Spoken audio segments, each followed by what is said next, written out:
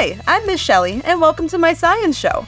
In our episode on pushes and pulls, I beat cameraman Dave at a game of air hockey at the arcade.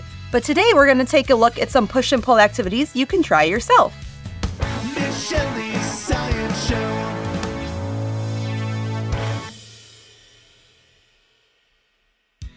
For this activity, I found a ribbon, a pinwheel, a small basketball game, a toy airplane, and a toy car. But you can really use any toys that you can find around your home or school.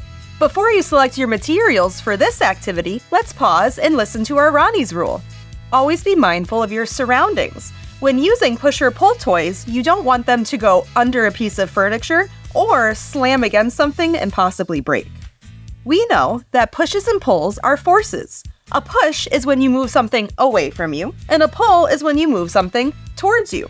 All you're going to do is simply think a little bit more about what you are doing with your toys when you are using them. For example, my ribbon, I can push and I can pull.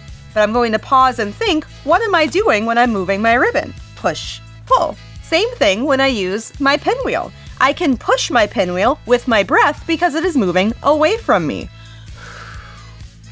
Now, when I play with my basketball game, I'm going to pull down on this lever that when I let go will push the basketball into the hoop.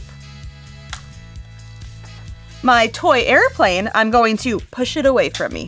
And then my toy car, I can do both. I can push it away from me and pull it towards me. I can push it gently. I can pull it hard. I can push it hard.